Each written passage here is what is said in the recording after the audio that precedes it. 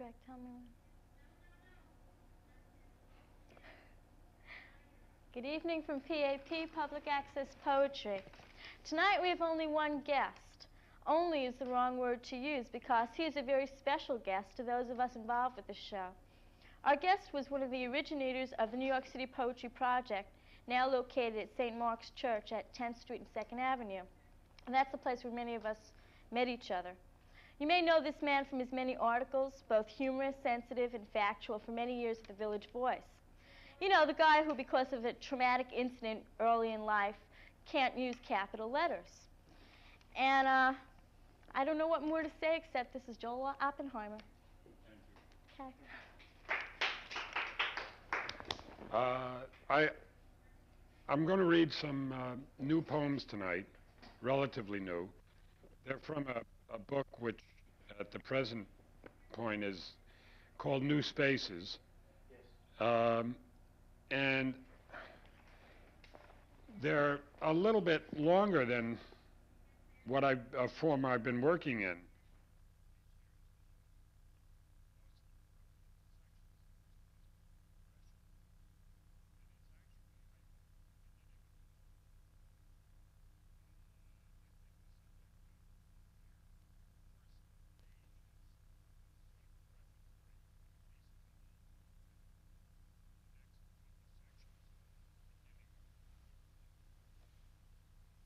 The progression. All I know, the body, the poem. That strange land, the body, maps abound, but I am lost there. Have known yours and yours and yours, I forget them all, not touching them. Have not once remembered hair, not hair I lived with ten years, then eleven.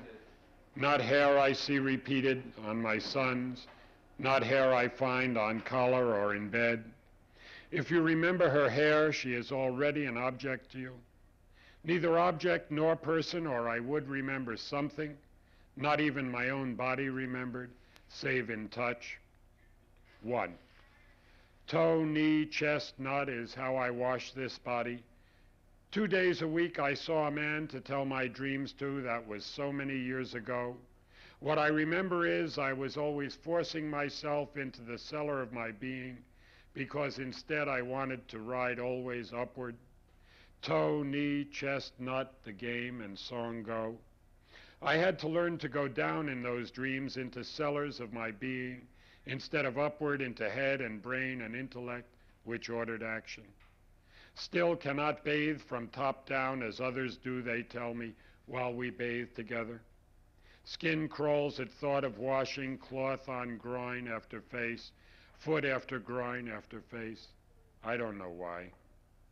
Two, phalanges equals line of soldiers, tarsus equals broad flat surface, metatarsus equals at the back plus tarsus, cuneiform equals wedge-shaped, navicular, boat-shaped, cuboid, cube-shaped, talus, one of a set of dice, calcaneus, heel bone all wrapped in muscle, pulled and held by tendons, sinews that we walk by, covered with meat, with flesh, with body that we talk of. The foot supports us as we walk away our lives. Men who spend their lives walking and talking is the way he put it. Wash every bone with care, the cloth poised, the water runs. Three, Suspending part of her weight from the bar above, the Japanese lady, much smaller than us anyhow, and smaller still since lady, walks her toes up and down the back. It is the final stage of the massage, and they are fingers on the back. Are like fingers indeed, with much the same construction. Some names are different since they have evolved to different uses. The lady sat right next to the flea circus in the Freak Museum beneath the Penny Arcade. Her arms were folded, visible under her satin blouse. Anything for a hype. It's a living, isn't it? With her feet for hands, toes for fingers, she wrote her name lefty and then righty too. Sold postcards for a nickel, signed both ways. Again and again I went back to watch her, wondered what kind of discipline could teach your toes to write when you still had your fingers. What could drive you to it? They are like fingers, and the bones almost the same. Four, itchy feet are not the same as itchy palms. I don't like to uh, walk, travel doesn't interest me, but I've been cursed with itchy feet. If the body contracts what it deserves or wants, what are my feet telling me, itching while I sit?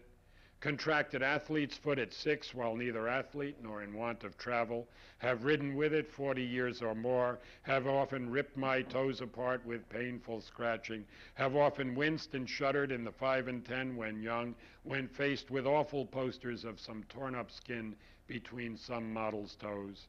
Yet at night again rubbed and rubbed on bedposts and on frame, with fingers and with nails and with the other foot, Relief from painful itching was often promised. There is no relief from painful itching save the scratch. Five. This little piggy went to market. This little piggy stayed home. This little piggy had roast beef. This little piggy had none. And this little piggy cried wee, wee, wee all the way home. It is how we learn to count, so that roast beef has always been a special food for me, and so that I always thought it had to do with that last pea to take before bed and so that I always wondered about the rhyme, how home and none could match the subtle pressure of the culture, as the toes themselves press against the ground to hold us up. Six.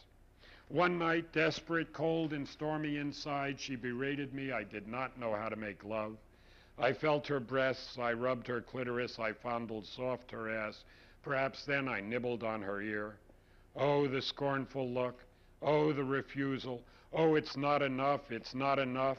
What of the rib cage, though I knew one friend that loved that? What of the arching back, though I knew one friend loved that? The calves another, the knees another. All parts of the body, someone said, not erogenous. Who said that? It was two in the morning, and the fight went on until finally, one by one, I kissed her toes, sucked them each into my mouth, licked under in the soft and hidden parts, rubbed against the arch. She came then, startled and against her will, sitting in her chair, and we did not fuck. After this one night, she resisted my advances. She had learned that her toes were erogenous, or my tongue was, and she'd thought she had me beaten. Seven. My own toes grow old, and no one will caress them. Now the nails grow strangely, curving round the ball of toe, impossible to cut. The nails are thick and hard. All that itching and rubbing and walking and talking and badly fitting shoes have scarred them. Now I love them because they are my own. We love only what is our own or is perfect in our eyes in others. There is no middle ground. I want someone beautiful and melting, as has happened now and then. I will not settle. Only those who move in order to stop moving settle. Others cover up the ashes and move on. 8. My first lover used her feet as well as head and opened up my pants by toes alone. That also was erotic to a young man's sense. Ah, we were all beautiful once, is what she said as she cut the roses. I had grown enough not to be astonished that she could use her toes so well, though she still had her fingers. Nine. This little pig went to market. Five sons times ten toes is what it comes to, not counting my own. The feet we walk by as we walk by, as we keep touching ground, as we keep moving. It was fun reading the line about painful uh, itching on television. Uh, The trouble, actually, when I do that, that poem on television, it reminds me that those posters have disappeared, probably because of television. But it used to be impossible to walk into a 5 and 10 without those horrible posters. And, uh, and they were always behind the soda fountain. It was terrific. Like you could be eating a banana split and you were staring at this three foot tall, large toe that had been eroded co- completely away by rubbing it at night. Um, all right, here's a shorter poem called The Charm. It's a tarot poem about the card called the Tower. This is a charm for entering the tower. The tower stands carved in ivory, blue skies and white cumulus pile behind it. But that cloud is boiling behind it, soon lightning will flash from it. Oh, we are all born fools, innocent and smiling. While our dogs frisk at our feet, we walk off the edges of cliffs. We fall safely to the plain at the foot of the tower. We look up. It is there before us, phallic, threatening, alluring. That is the day we have to climb it, the dog left behind, the innocence, the smile left behind, even the id surmounted. What happens is in the cards. The cloud boils up, covering the sky. The lightning will strike to the middle of the tower. The tower will crack and crumble and start to topple. People fall from the windows. Again, there are smiles on their faces. Halfway up, halfway down, they are falling. You may think this is a terrible card, saying the tower falling presages tragedy. It is a way to move on to new things. It is a way to learn how to survive. It is learning how to live through even the crumbling tower. There are people who survive it. It is only the crumbling of something we've made. I repeat, those falling again have smiles on their faces, a little different from the smiles they had before, but they are smiling again, falling not to their doom. It is the card we must pass through. First, you must enter this tower, the clouds boiling behind it, the storm building up, even with a clear blue sky. Um, this is another poem in sections, a lot shorter than the, the foot poem. I really must move on to the ankle because I can't bear for that to go through life known as the foot poem. And uh, so that anyone, I, actually, if anyone has any pertinent information about ankles, I'm stuck there. I have lots of material waiting for knees and things, but, but I'm stuck on ankles. So, and I, I think I need nine sections for ankles. So, um, this is called Summer Songs. It was written this summer. One, waiting for the afternoon, it comes, it is gone. Two, fruit, flesh, in summer all the same thing. I taste a cherry, I taste a plum, I taste you. Juices flow, they taste fine, there's no difference. Three, earth, air, fire, and water on the one hand, scissor, rock, and paper on the other. Earth puts out fire, fire burns up air, air dries water, water covers earth. Whichever of us was wrong holds out our wrist, the other with index and middle finger together and extended wraps smartly. We are children playing this game, but there are elements of reality in it. Four, territory demands we take each other's land with knives. Mumbledy Peg calls only for dexterity and elegance of form. We play one or the other as the need moves us. Territory is ruined if one gives one's land away. Mumbledy Peg fails when one doesn't care. Five. There are differences. In winter, I shower because I want to fuck or because I did. In summer, I shower all the time, as if plunging into the sea had to do with keeping my cool. Six. What I like is seeing you naked. It is almost obligatory in summer and impossible favor in winter.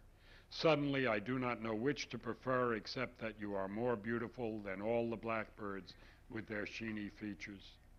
Seven. Peaches, plums, cherries, grapes, and berries. Still life's on every table. I take what I am able.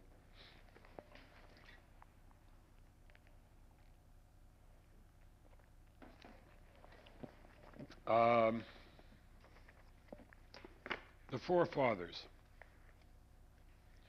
This was um, actually started about two years ago and then just sort of lay there and came together, I think, um, about a month ago. The forefathers. The first of whom is clouded, is not to be seen but felt in the dark night, is phallos simply, as insertion, jet, feel him. Later, so much later, feel his skin, smell cigars or sweat, whatever. He is not there. He fills her or does not. Out of him is built, he is dark and inside. Then the second appears, nourishing. He yells, shouts, he punishes and loves. He also takes the mother, but with deference, and is as frightened sometimes as the child. The third father does whatever the second did not, and does not do whatever the second did. He tells secrets he has learned, and he creates his own mystery, since he is there for her, but also for himself. The fourth father is old, and we think him wise, and we find him a stranger, but we talk. Oh, I have been all of the first three, and soon will be the fourth. Each of the mothers, each of the children know me differently. Each has a different picture folded in your heart. it's a commercial for cough. Huh?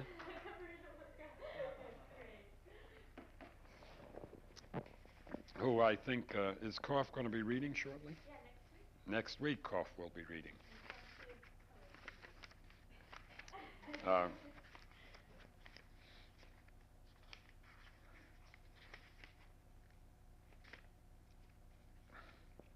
there's a funny little, that is a strange little poem that I'm using as the uh, the introductory poem to the book, and it, uh, I call it Around. If in our days we sing of what most pleasure brings, and if we rage, rage, rage when needed in our pages, and the song's a perfect thing, as perfect as it praises, the anger more than staged, so that real fire it raises, we are the masters of the age and of the song, the king. Um, there's a poem that sort of started all this uh, this line for me, this sort of discursive line that just keeps moving on. It's called Acts.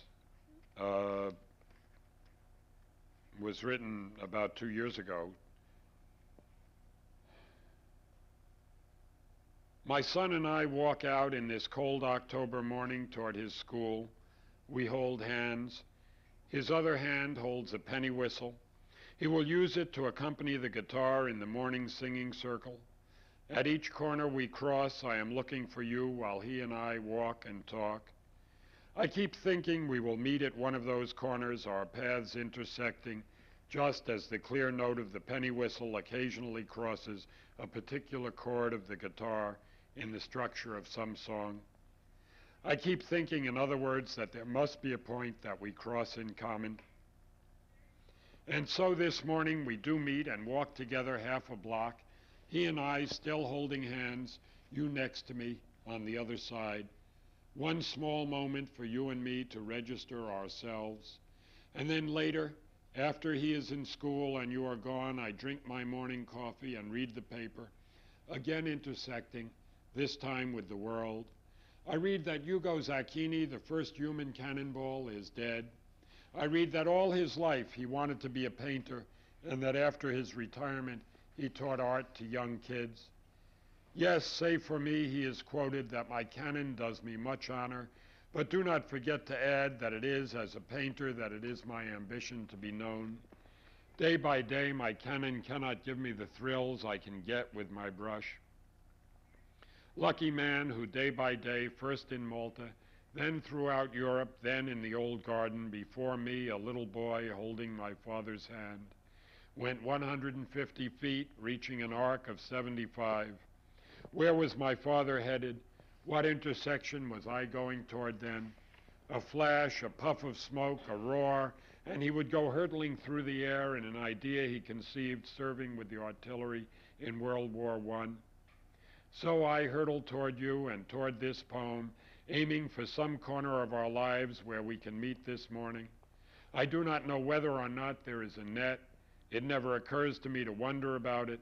The flash, smoke, and roar take the forms of an alarm clock and the radio and a small child needing his bottom wiped.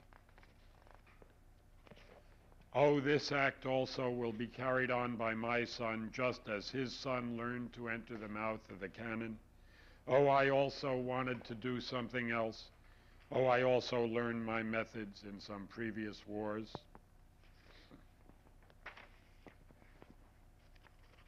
Why don't you ask me a question about poetics? What do you think of poetics? As seldom as possible. Uh, no, it, Bobby, you have a question? Bobby, you have a question? yeah, it just seemed like the reading is just droning on, and I, let's break it for two minutes. What's the title of your next book? Um, Commercial plug. New Spaces, Bob. New Yes. Spaces Bob, you added No. All right. Um, I worry because I've always, uh, up until this, worked in either very short forms or the long poems have really been long lines and like they sort of carried that kind of weight. And I get a little worried. I finally adjusted to the fact that these aren't really terribly long poems. I th- the longest is about 13 pages, but the, no, except in the titles.